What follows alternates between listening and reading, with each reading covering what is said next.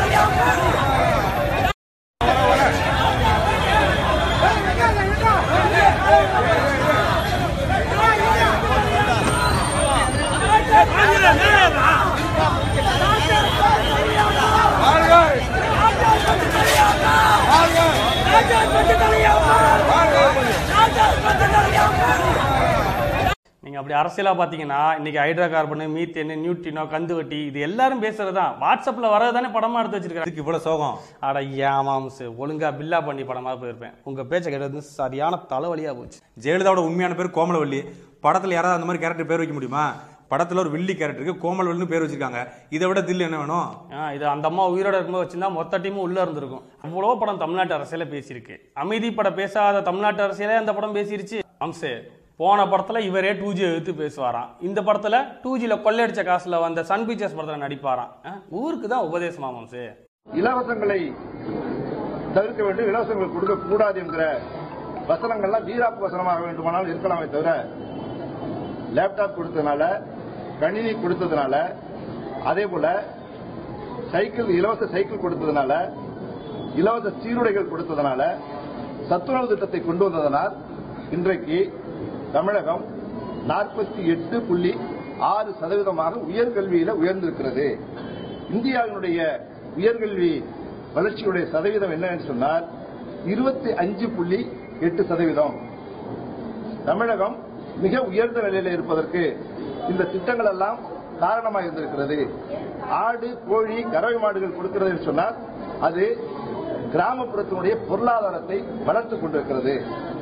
விலையில்லாத அரிசி கொடுக்கப்படுகிறது என்று சொன்னால் பசியில்லாத தமிழகம் உருவாகி கொண்டிருக்கிறது.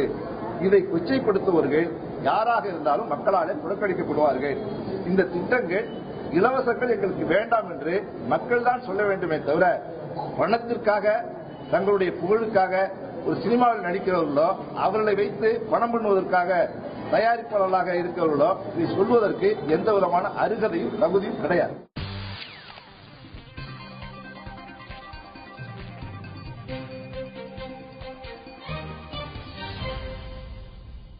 சர்க்கார் படத்திலே இன்றைக்கு இலவசம் வழங்கக்கூடாது என்று அவர்கள் சொன்னாலும் இலவசம் என்பது என்ன?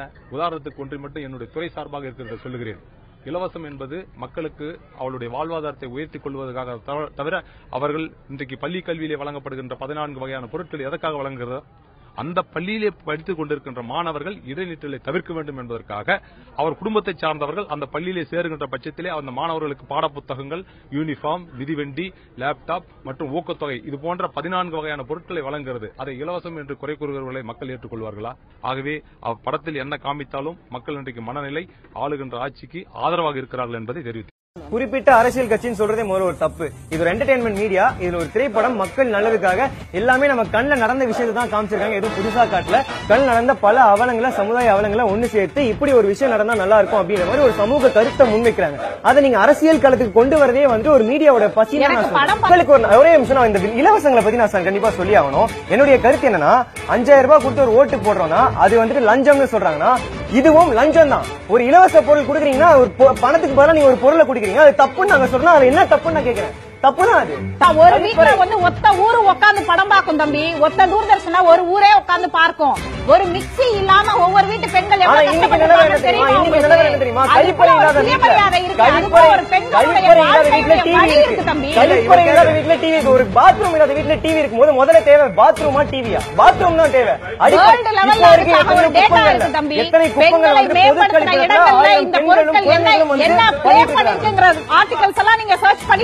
ஒரு குப்பத்துல இங்க மேம் இங்க வாங்க. ஒரு இந்த இங்க வாங்க. இன்டர்நேஷனல் போகாதீங்க. நீங்க வாங்க. ஒரு குப்பத்துல இப்போ வரைக்கும் ஒரு பொது கழிப்பிடத்துல தான் ஆயிரம் பெண்மணிகளும் குழந்தைகளும் கழிச்சிட்டு இருக்காங்க தினமும். ஆனா அவங்க வீட்ல எல்லாருக்கும் டிவி இருக்கு. அது முக்கியமா? இல்ல ஒவ்வொருத்தருக்கும் வந்து கழிப்படம் கொண்டு வர முக்கியமா? இத போய் சொல்றது அடிப்படை- கருத்து வச்ச உடனே ஏன் அது விவாதமாக்குறாங்க? நிச்சயமா எக்கனாமிக்ஸ்ல ஏன்னா நீட் வாண்ட்ன்ற விஷயம் இருக்கு. நீட்ன்றது நமக்கு அடிப்படை தேவைகள். வாண்ட்ன்றது ஒரு ஆடம்பரம். ஆடம்பரமான விஷயங்களை ஒதுக்கி வச்சுக்கலாம். முக்கிய அடிப்படை தேவைகள் இருக்கு. நீங்க என்ன வச்சிருக்கீங்களா தம்பி?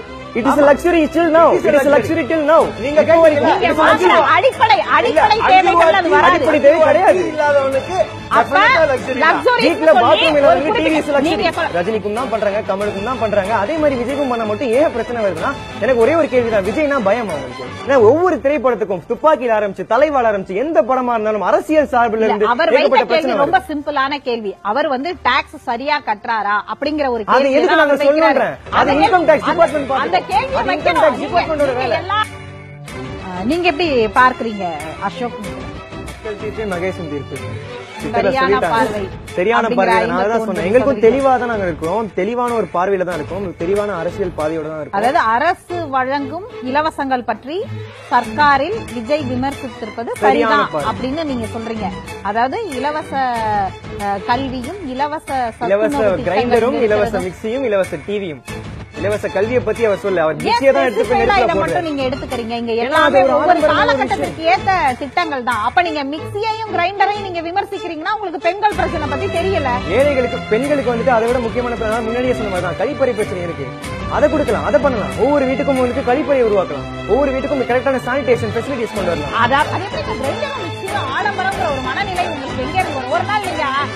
ஆட்டி அப்படி பார்த்து வளர்ந்த தமிழ் சமூகம் தான் இது. நமக்கு மிக்சியும் கிரைண்டரும் வந்து இல்லைனாலும் ஒரு பெரிய பிரச்சனை இல்லை. ஆனா கழிப்பறை இல்லாத ஒரு பிரச்சனை தானே?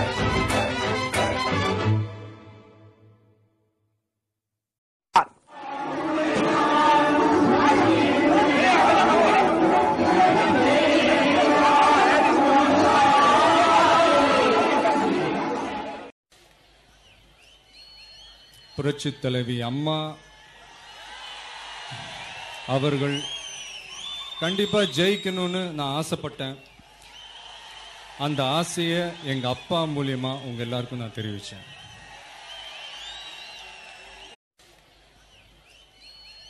புரட்சி தலைவி அம்மா அவர்கள் கண்டிப்பாக ஜெயிக்கணும்னு நான் ஆசைப்பட்டேன். அந்த ஆசையை எங்கள் அப்பா மூலியமாக உங்கள் எல்லாருக்கும் நான் தெரிவித்தேன் தலைவா பட பிரச்சனை தீர அவர் தலையிடுவார் என நம்புவதாகவும் அதில் நடிகர் விஜய் பேசியுள்ளார். அம்மா அவர்கள் இது வந்து நாங்கள் மாண்புமிகு தமிழக முதல்வர் அம்மா அவர்களை சந்திக்கணும்னு சொல்லிட்டு ஒரு அப்பாயின்மெண்ட் கேட்டிருக்கோம். அவங்க கூடிய சீக்கிரம் எங்களை மீட் பண்ணுவாங்கன்னு நாங்கள் நம்புகிறோம் அம்மா அவர்கள் தமிழகத்தில் எவ்வளோ நல்ல விஷயங்கள் அவங்க செஞ்சுக்கிட்டு இருக்கிறாங்க. தமிழகத்தையே ஒரு ஒரு முதல் மாநிலமாக கொண்டு வரணும்னு சொல்லி உழைச்சிக்கிட்டு இருக்கிறாங்க. ஸோ தமிழக மக்களுக்கு இவ்வளோ நல்லது செய்கிற அவங்க இந்த தலைவா பிரச்சனையிலையும் தலையிட்டு இதுக்கு ஒரு நல்ல முடிவு கொடுத்து கூடிய சீக்கிரம் இதை ரிலீஸ் பண்ணுவாங்கன்னு நாங்கள் நம்புகிறோம்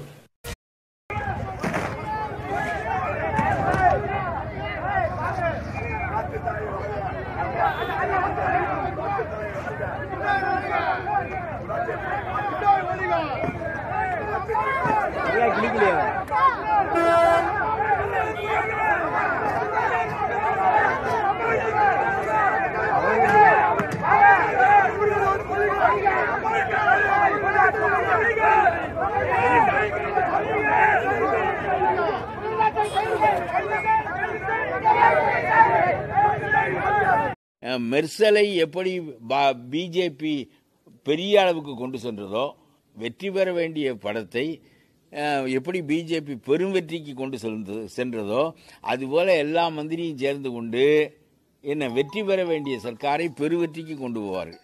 அப்படி என்ன அவர் சொல்கிறார் இதில் என்ன இருக்குன்னு ஒவ்வொருத்தனும் பார்க்க கிளம்ப போகிறேன் ஓட்டோட வேல்யூ சொல்லிருக்காங்க ரீசனபிள் பட் படம் பார்த்த திருப்தி ஃபர்ஸ்ட் கிளாஸ் நீங்க புரிஞ்சுக்கிட்டாங்க. Social eye opener forty nine B நம்ம ஓட்டு இல்லைனாலும் நம்ம ஓட்டை காசு பண்ணலான்றது தான். We always have the right to vote நாட்டுக்கு தேவையான ஒன்று. சேஞ்சஸ் வரும்னு நினைக்கிறோம். மறக்காம ஓட்டு போடுங்க சார் எல்லாரும். அதே மாதிரி அதே மாதிரி நல்ல ஆட்சி வரணும் சார் அதுபடி எல்லாரும் நடக்கணும் அது மாதிரி செய்யணும். அதுதான் சார் விரும்புறோம். செம்ம. Super super. ரொம்ப நல்லா இருக்கு. அரசியல் படம் பக்கா. ஆனா இப்பதான் தெரியுது கள்ள ஓட்டு போட நம்ம திரும்பி நம்ம போராடினா ஓட்டு போட முடியும்ன்றது. இது வரைக்கும் இந்த கள்ள ஓட்டு போட்டு அவ்வளோ முடிஞ்சு போச்சு வீட்டுக்கு போய் உட்காரணும்னு நினைக்கிறோம். But again we can fight back using the same law we can get back our rights நிச்சயமாக எல்லாரும் ஓட்டு போட்டுங்க சார். யாரும் வீட்டில் இருக்க கூடாது. ஒரு- ஒரு வின் பண்ணோம்னாக்கா நல்லவங்களா பார்த்து தேர்ந்தெடுத்து நம்ம நாட்டுக்கு தேவை செய்வங்களா இருக்கணும் எஸ்பெஷலி ஃபேமிலிக்கு நல்ல என்டர்டைனாக இருக்கும். பையன் நல்லா என்ஜாய் பண்ணி definite definite see see one day it can be change everything if you are trusting yourself definitely changes will come அந்த மாதிரி ஆரிக்கணும் எல்லாருமே. இந்த ஜென்ரேஷனுக்கு தேவையான படம் அவர் சொன்ன ஒவ்வொன்றும் இளைஞர்கள் ஃபாலோ பண்ணால் கரெக்டாக இருக்கும். இளைஞர்கள் கையில தான் அடுத்த தலைமுறைங்கிறத சொல்லியிருக்காரு அவர். நம்ம ஓட்டு வந்து ஒவ்வொருத்தருக்கும் நம்ம தான் போடணும். நல்லா இருந்துச்சு ரொம்ப நல்லா இருந்துச்சு. இப்போ இப்போ தேவையான ஒரு கான்செப்ட் ஸ்கிரிப்ட் பொது பிரச்சனை தைரியமா சொல்லிருக்காங்க அது சூப்பர் புதுசா இருக்கு. புது ஐடியாவா இருக்கு. அந்த சட்டம் இப்பதான் இந்த படத்து மூலமா வெளியில வந்திருக்கு. மறக்காம எல்லாரும் ஓட்டு போட்டுருங்க. இது இளைஞர்கள் பார்க்க வேண்டிய படம். செம்ம படம் வேற லெவல். நல்லா இருக்கு சார். சூப்பரா இருக்கு பார்க்கலாம் சார். செம்ம மெசேஜ் கொடுத்தாங்க. சர்க்கார்னா இதுதான் சர்க்கார். அவங்க ஓட்டு அவங்க தான் போடணும். மற்றவங்க போட்டா எத்து கேட்கணும்னு சொல்லி. நல்ல ஒரு சோஷியல் மெசேஜ் இதே மாதிரி நல்ல படமா நடிக்கணும் அவர் இதே மாதிரி சோஷியல் மெசேஜ் வர நிறைய படங்கள் நான் வரேன். இதுவரை யாருக்கும் தெரியாம இருந்துச்சு. இப்ப இது சொன்ன பிறகு எல்லாருக்குமே புரிவாங்க எல்லாருமே பார்ப்பாங்க. கல்ல ஓட்டு போட்டுருந்தா நம்ம போய் கேட்கணும். நல்ல மெசேஜ் கொடுத்துருக்காங்க ஆனா. நல்லா இருக்கு. யூஸ்ஃபுல்லா இருக்கு ஆனா மக்களுக்கு ஆனா. நாளை எல்லாருமே பார்க்கணும். இப்போ எல்லாருமே ஓட் மிஸ் பண்ண வேணாம். உங்களோட ஓட்டர்ஸ் ஐ மீன் உங்க ஓட்டிங் உரிமையை வந்து நீங்க தான் காப்பாத்திக்கணும். போய் ஓட்டு போடுங்க மிஸ் பண்ணாதீங்கன்னு சொல்லியிருக்காங்க.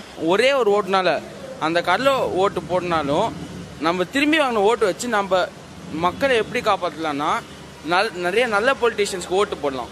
ஸோ அந்த ஒரு ஓட் நல்ல